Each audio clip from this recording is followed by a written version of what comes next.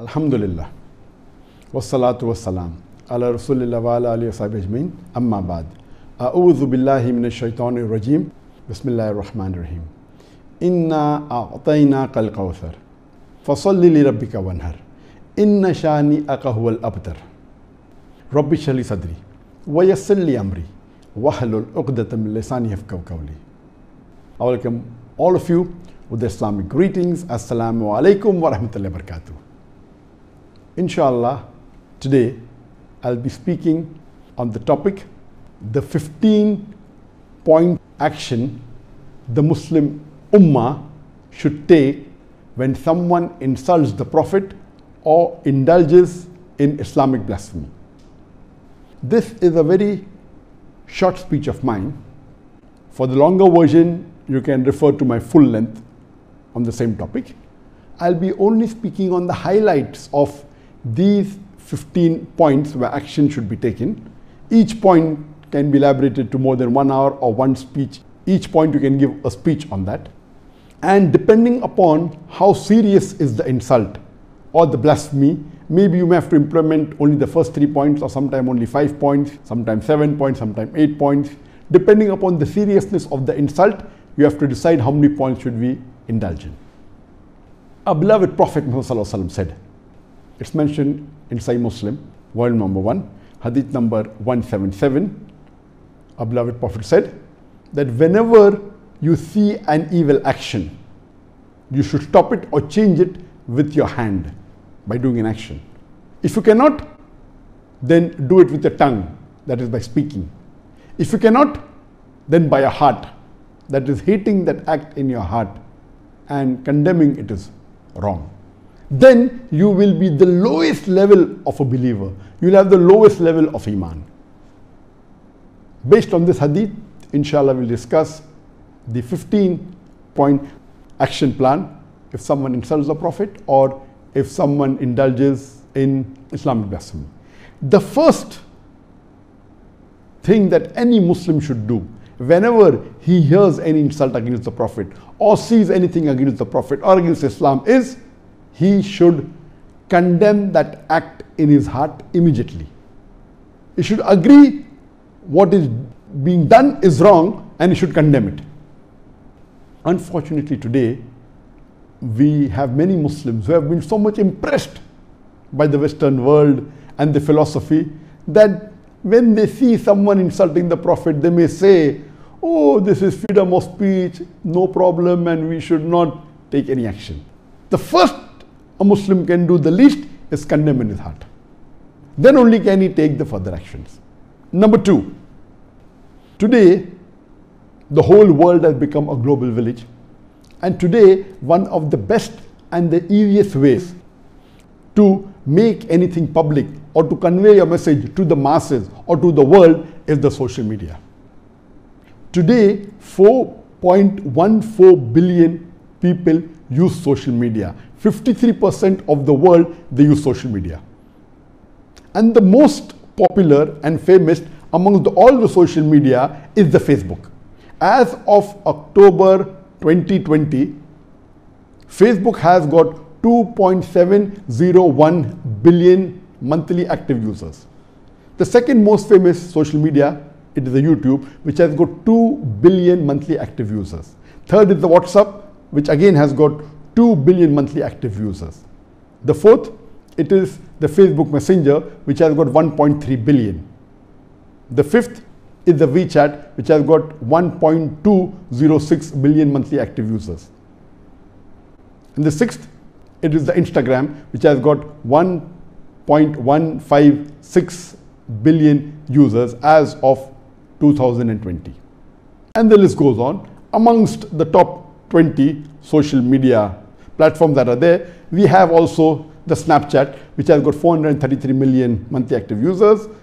We have the Pinterest, which has 413 million monthly active users. We have the Twitter, which comes on the 18th in the list, has got 333 million monthly active users as of October 2020. We have to use as much as possible of the social media to convey our condemnation against the evil that has been done. We have to condemn if anyone insulted the Prophet or anyone had an Islamic blasphemy on the social media. For example, my social media, the Facebook, has got 22.6 million followers. It is the largest amongst any Malaysian resident, whether he be a Malaysian citizen or a Malaysian PR holder. There is no Malaysian PR holder or a citizen, a Malaysian resident, which even has half the followers, alhamdulillah, what I have on my Facebook. We did a campaign on the Facebook for five days only on posts and we put 16 posts. Then we had some videos which went on for another few days. In this one week, alhamdulillah, the total number of people who viewed our posts and videos was somewhere close to 45 to 50 million. Alhamdulillah. We also did on the YouTube. On the YouTube, mashallah, there are 2.2 million subscribers. And one video I posted against what Macron said about Islam. And in a span of three days, more than half a million people saw it. So depending upon whichever social media platform you have, irrespective whether the numbers are small or big, you have to put it onto the social media platform and make it reach as many people as you can. If you cannot say something yourself, if you cannot write something yourself, what you should do, you should go to the social media platforms of other Islamic speakers, they can be other Islamic scholars or other Muslim leaders and see what they have said. After maybe watching 25, 30, 40, 50 of them, you can select the best that you wanted the best that you feel and you can forward it onto your social media platform or to your friends, to your non-Muslim friends, to your Muslim friends. And this is the least you can do. And believe me, it is absolutely free. What you can do, you can go online. There are many articles available on our beloved Prophet Muhammad written even by non-Muslims, by Muslims. We have a small booklet written on the life of the Prophet, peace be upon him, by a Hindu. Professor Ramakrishna Rao. We have articles written by Lamartine, by Thomas Carlyle, by Michael H. Pick this up and forward it. There's a very good seerah which is called The Sealed Nectar by Sheikh Safiur Rahman Mubarakpuri. And it won an award. You can take it in the PDF, forward it to a non-Muslim friend, to your Muslims. Very easy. You can go on the website and pick up a good translation in the language you feel is the best, whether it be English, whether it be Malay, whether it be Hindi, whether it be Urdu. Pick up the translation, forward it to a non-Muslim friend. Very easy. It doesn't cost you anything, not even a penny.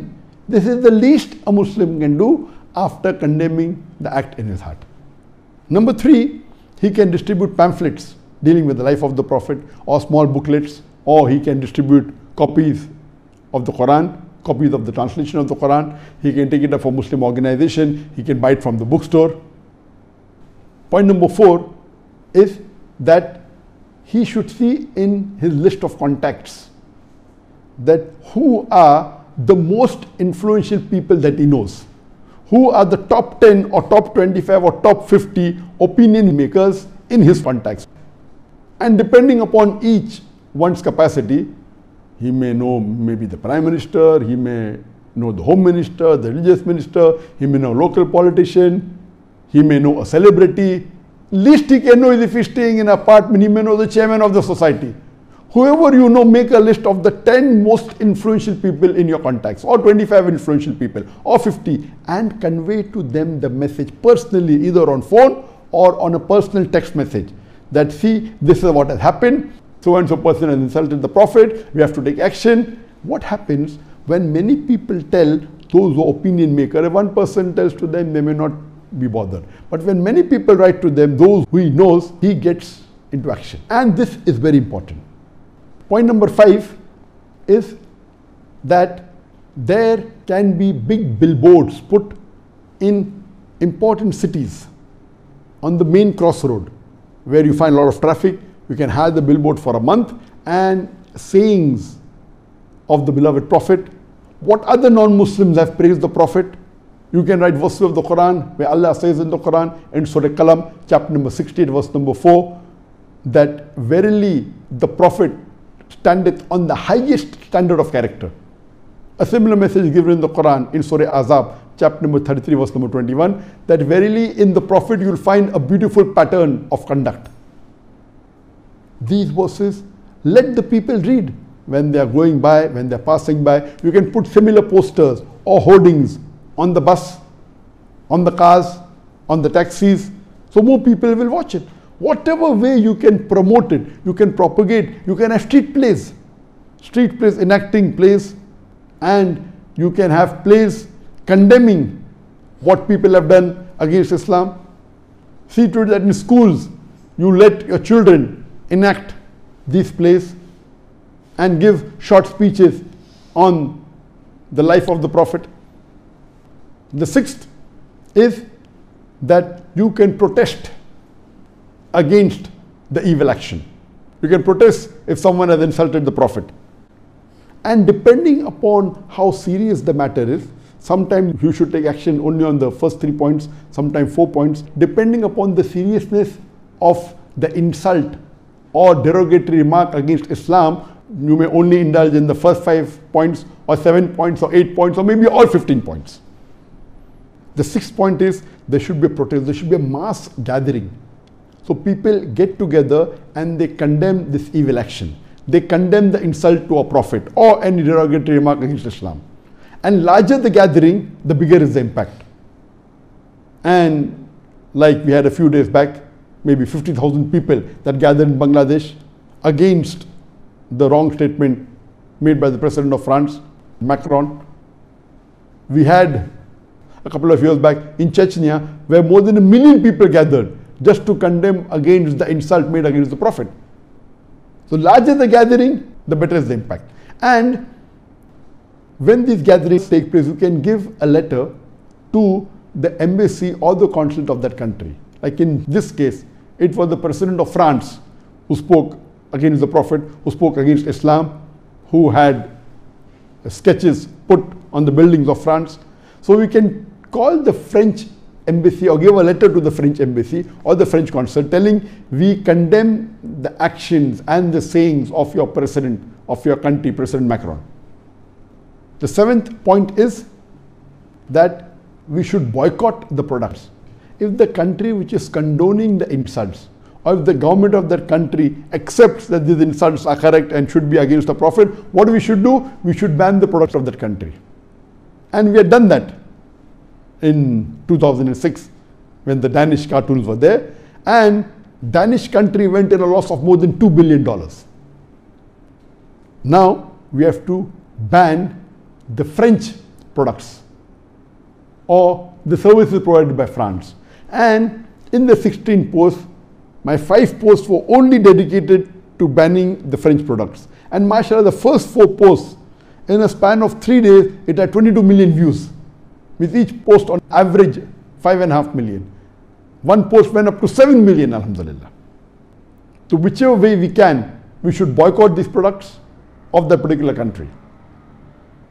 Point number eight is that we should contribute financially whatever we can for this cause. If you're a rich man, give a big amount. If you're a poor man, you can give $10, give $5. Allah will see the percentage you give, not the amount you give. If a person who is a millionaire and has the capacity to donate $10 million and he donates only $1 million. A poor man has the capacity of donating only $10 and he gives $20. But naturally, the person who gives $20 and is poor will get multiple times more sawab than a rich millionaire who only donates $1 million. Allah will see on your capacity. So don't think what will I donate, what will happen with my $5 or with my $10. My social media account has only 100 people or only 500 people. Oh, he has got million. Whatever capacity you have, Allah will judge you according to your capacity and according to your striving. So we should give for this cause to organizations so that all these things can be done. The ninth point is that we should make this condemnation public in the mainstream media, whether it be on the satellite channel, the television satellite channels, the news stations, it can be on the radio broadcast stations, it can be in the daily newspapers, it can be in the weekly newspapers, it can be in the magazines. If you own any of the mainstream media, whether a satellite channel, see to it that run a campaign for maybe a week or on your newspaper or on your magazine, or you know someone who owns the newspaper, or you know someone who is in a high position in this newspaper or a satellite channel and ask him to run this campaign and surely it will benefit a lot. More people in the world will come to know about it. Tenth point is that there should be legal action taken against this insult, against this blasphemy. There should be a battery of Muslim lawyers who are dedicated for this cause.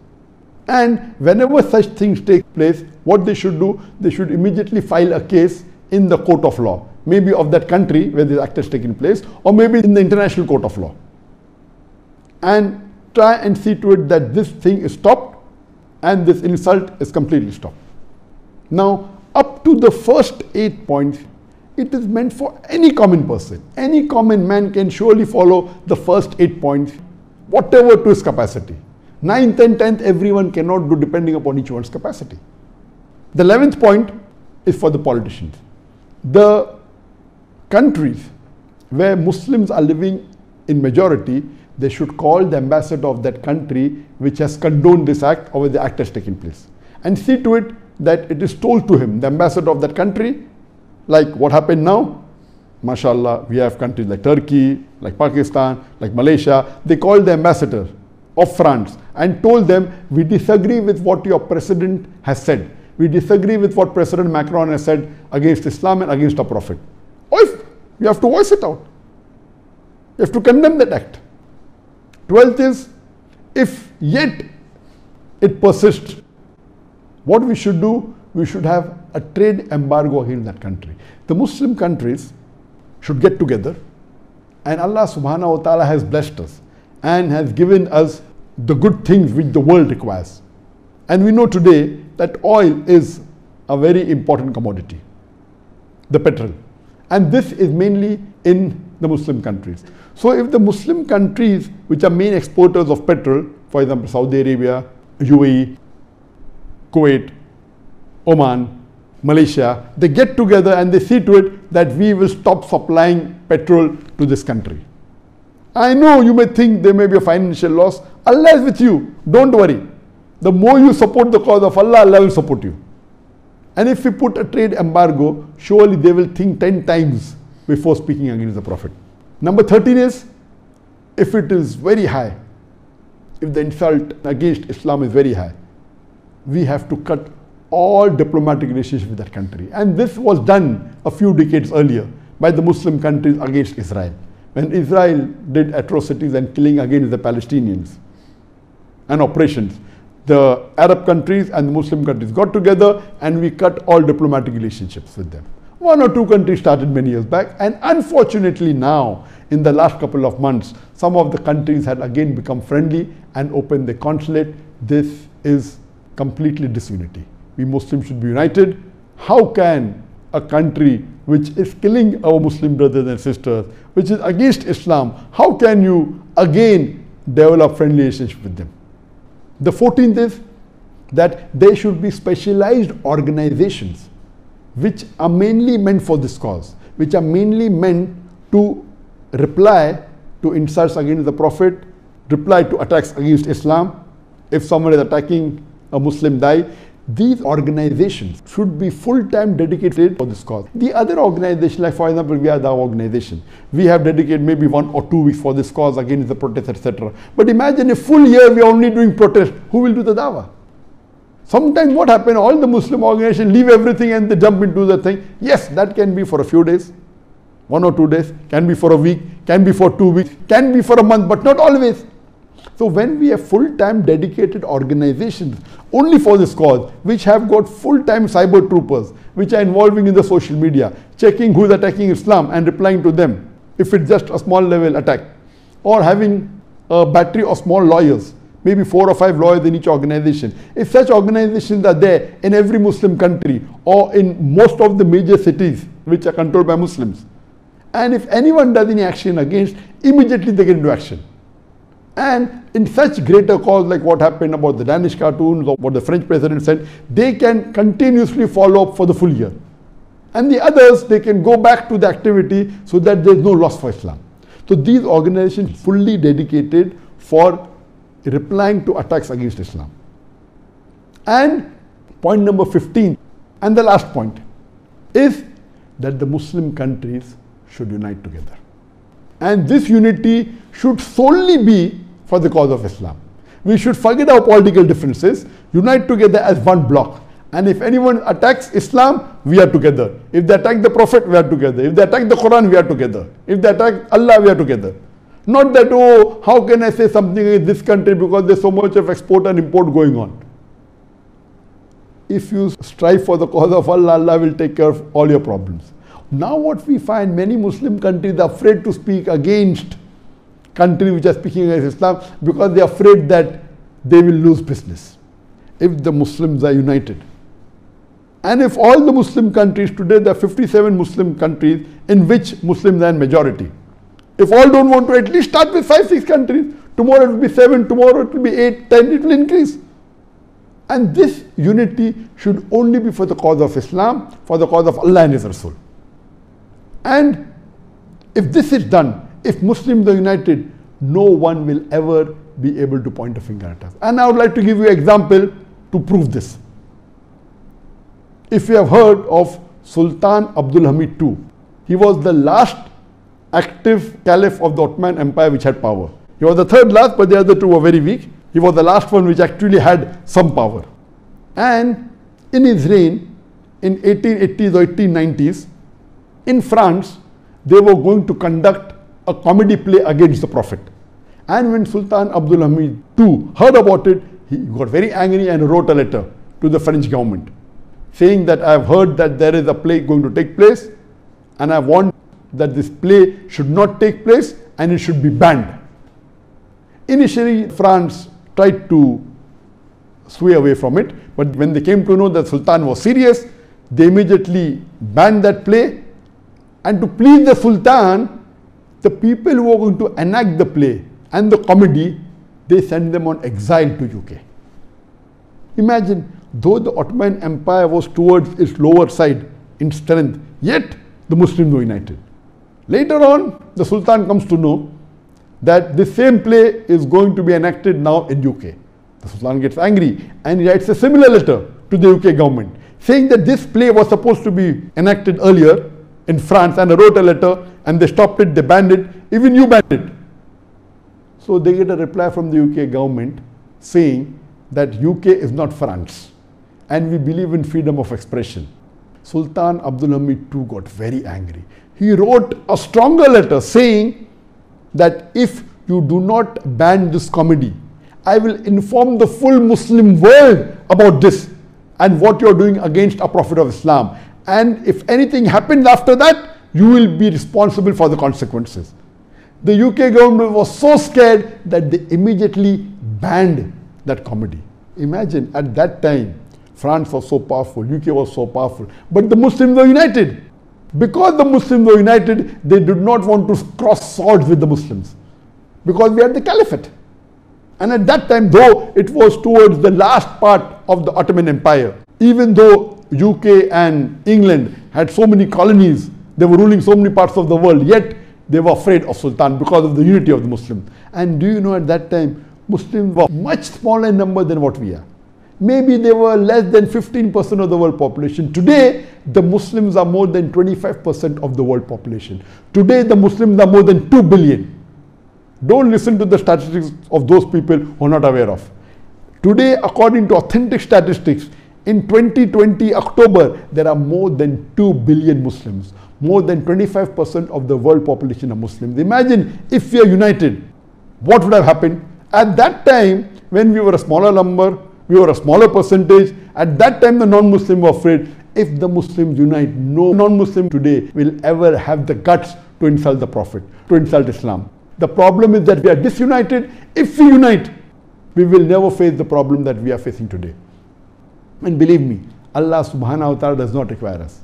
I believe these incidences are taking place, Allah is allowing it to take place to test the Muslims that who is really striving to support the Prophet. He's only testing us. For Allah to take care of this is very easy. Easily can take care of all this. He is allowing these things to happen to see how are the Muslims reacting. To test this person as a Muslim name, but actually he's a munafiq. Allah is doing just to test. we as Muslims should see how much do we strive in the cause of Allah. And our beloved Prophet Muhammad said that anyone is not a believer until he loves me more than his father, more than his children, more than whole of mankind. It's hadith in Sahih Bukhari, volume number 1, hadith number 15. Hadith number 16 says that a person will taste the sweetness of belief if he has three things. If he loves Allah and His Rasul more than anything else in this world. Number two is that if he loves someone for the sake of Allah and that person loves him for the sake of Allah. And number three, he would never like to go back to disbelief, to kufr, like he'd never like to go into the hellfire. And Allah subhanahu wa ta'ala doesn't require you and me the rubbish that we are. Allah is sufficient. Allah clearly says in the Quran, in Surah Tawbah, chapter number 9, verse number 61, that anyone who abuses the messenger of Allah will have a painful punishment. Allah doesn't require us. Allah gave the similar message in Surah Ahzab, chapter number 33, verse number 57, that indeed anyone who abuses Allah and His messenger, Allah will curse him in this world and the hereafter and will prepare for him a humiliating punishment. Allah doesn't require you and me the rubbish that we are. Allah can take care and protect His messenger and I started my talk by quoting the verse of the Quran from Surah Al Kawthar, where Allah says in chapter number 108, verse number 1 to 3, Inna a'tainaka al-kawthar, fasalli li rabbika wanhar, inna shani'aka huwa al that we have granted thee the fount of abundance. Allah, the Lord of mankind, has given the fount of abundance. In Jannah, the river and fountain of abundance called Al Kawthar is given to the Prophet. Who are we? If Allah is praising him, the full humankind is again the Prophet doesn't matter at all. Allah says, Turn to thy Lord in prayer and sacrifice. And anyone who hated thee, hates Prophet Muhammad, peace be upon him, he will be cut off from all future hope. Allah doesn't require you and me the rubbish that we are. And Allah promises in the Quran. I would like to end this talk with the verse of the Quran which is mentioned three times in the glorious Quran. In Surah Tawbah, chapter number 9, verse number 33. In Surah Fatah, chapter number 48, verse number 28. And Surah Saf, chapter number 61, verse number 9. Allah says, هو الذي أرسل رسوله بالهدى والدين الحق ليظهره على الدين كله that Allah has sent his messenger with guidance and the religion of truth so that it will prevail over all the other religions over all the other isms whether it be Christianism Hinduism Buddhism Judaism atheism modernism, socialism. Islam is destined to supersede all. Kulle, master them all. However much the unbelievers don't like it, however much the mushrik don't like it. And in one verse out of three, he ended by saying, وَقَفَى بِاللَّهِ شَيْدًا And enough is Allah as a witness. I like to end this, that may Allah subhanahu wa ta'ala give us hidayah to follow the guidance given in the Quran and the Sahih Hadith and unite the Muslims as one, inshallah. Ve akru davana elhamdülillah rabbil alemin.